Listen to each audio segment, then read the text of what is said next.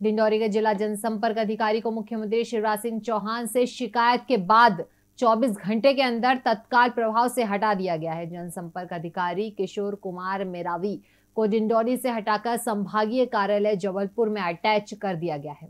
मरावी पर आरोप है कि वे लगातार पत्रकारों की अनदेखी कर रहे थे। लाडली बहना सम्मेलन में शिरकत करने पहुँचे सीएम शिवराज सिंह चौहान के हेलीपैड पर पहुँचते पत्रकारों ने जनसंपर्क अधिकारी कमल किशोर मरावी की शिकायत कर दी। और उन्हें डिंडोरी से हटाने की मांग रख दी। और कार्यक्रम के बाद सीएम जब मीडिया से मुखातिब हुए तो एक बार फिर पीआरओ को हटाने की बात पत्रकारों ने कही। तब मुख्यमंत्री शिवराज सिंह चौहान ने पत्रकारों से कहा कि ये बात मेरे संज्ञान में है। तो वाला मुझे आपने मुझे ज्ञापन दिया था मैं मतलब आज आपने आश्वासन दे दिया हटा देंगे सर। इस बात के 24 घंटे के अंदर ही जनसंपर्क अधिकारी कमल किशोर मरावी को मुख्यमंत्री शिवराज सिंह चौहान के निर्देश पर डिंडोरी से हटाकर संभागीय कार्यालय जबलपुर में अटैच कर दिया गया। पीआरओ के हटाए जाने का आदेश आया तो पत्रकार भवन पर मीडिया कर्मियों ने एक दूसरे को मिठाई खिलाकर अपनी खुशी का इजहार किया।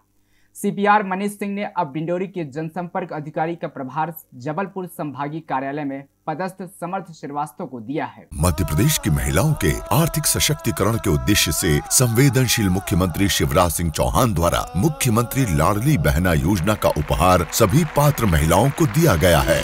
इसके तहत उन्हें प्रति माह एक हज़ार रूपए दिए जाएँगे। ये राशि सीधे उनके बैंक खातों में पहुंचाई जाएगी। योजना की प्रक्रिया बेहद सरल और निशुल्क है।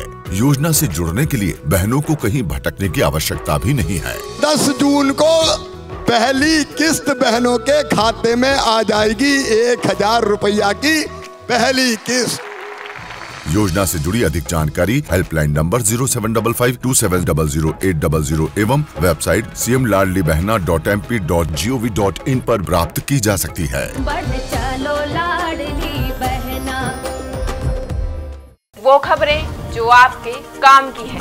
वो खबरें जो आपके लिए ज़रूरी है। हर आम और खास से जुड़े मसले। हर मसले का सटीक विश्लेषण। हम करते हैं सत्य का अन्वेषण। दखल न्यूज़। आपके हक में।